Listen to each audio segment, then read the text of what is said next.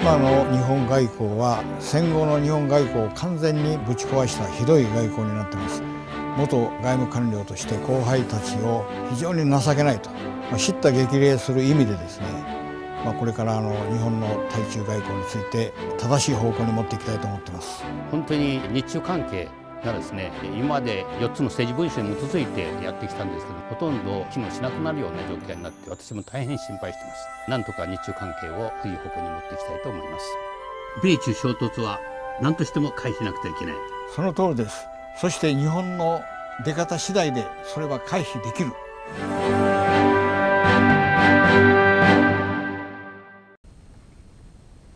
皆さんこんにちは、えー、今日はですねあの米中対立というよりも米中対立を通じたですね日本と中国との関係についてまああの両先生と話していきたいと思います。まあ、両先生よろしくお願いします。よろしくお願いします。あの私最近つくづく思うんですけどもこの米中対立をですね一番その率先してですね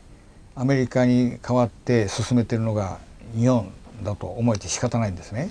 でこれは残念ながら対米従属の日本の極みだと思うんですけれど。しかしながらあのなぜ私が日本の今のやってることが間違いで危ないかというとですねまさにかつて戦った中国とまさに戦おうとしてる。そしてその一つの最近の表れとしてですね靖国参拝っていうのがここに行って急にですね現職の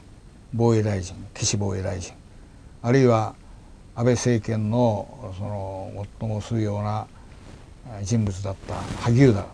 今の菅政権の文部大臣。そしてまあ次期総理の一人と言われている小泉進次郎、まあ、こういうその政治家たちがですねこのタイミングで堂々と参拝するようになったと、まあ、歴史に逆行した愚かな行為だと思うんですけども、まあ、この辺りの先生の考え方をお聞かせください。はい、あのまさにその通りであの、え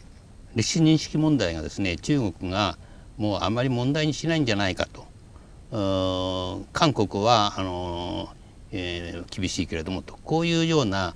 えー、見方が、えー、一部にあるんじゃないかと思いますけどもそれはあの間違いで。歴史認識問題について中国は一歩も譲っておりません。うん、ただし、えー、この問題によって、えー、日中友好関係があ一般の大使がみんな望んでいるその友好関係に大きく影響していけないということで、えー、ずっと自制しているんですよね。うんうん、その点を認識しなくてはいけないと思います。あの私もですね、あのまさに中国が自制しているという思いでずっと見てきたんですけども、その一方でですね、韓国と日本の関係も本当にあの日本が一方的にですね、まあ間違った対応をしてきてると。あの私はこの間韓国大使館の人と話してですね驚いたんですけど新しい大使菅大使は今年の2月に赴任してるんですけどもまず信任上法廷が随分遅くなったということに加えてですね信任を法廷した後もう半年も経ってるんですけどいまだにですね大使が外務大臣に会いたいと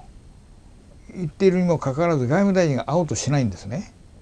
で私も大使の経験があるんですけど、まあ、こんな外交儀礼に資したですねこれも世界で考えられないと思うんですよ。しかしこれはその今の日本のですね、まあ、右傾化した表れであって逆に言えば韓国と日本とのですねまあ要するに見下した態度しかしながら決して日本は中国に対してはこういう態度はまあ取らないと思うんですね。しかし今先生がおっしゃったようにですね自制している中国がですねまあ米中関係がさらに悪化してそして日本が率先してですね台湾問題にしても何にしても中国の革新的利益に逆らうような真似をした時にですね必ず歴史問題を持ち出してきてそして中国が本気で歴史問題を追求するとですねもう日本はひとたまりもないという気がしてるんですけども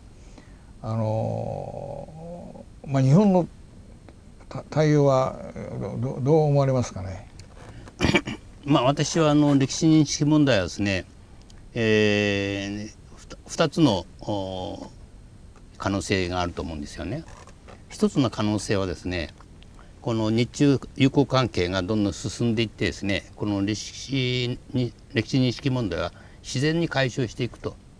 まあこれは私一番いいと思ってるんですけどねどういうことかっていうと、えー、だんだん中国はますます強大になってくるしそして日本の中国との関係が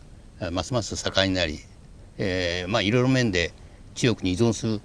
部分がもっと大きくなりますよね。そうする中でかつての歴史っていうものは自然にみんなあこういうことが、えー、昔あったんだと。それに対する、えー、歴史認識をちゃんとするようになると。これが私の言った望ましい方向、うん、もう一つのあれはですね今言って今ちょうど対立の方向にいますよね。台湾台湾問題実は歴史認識問題の一つでもあるわけですよね。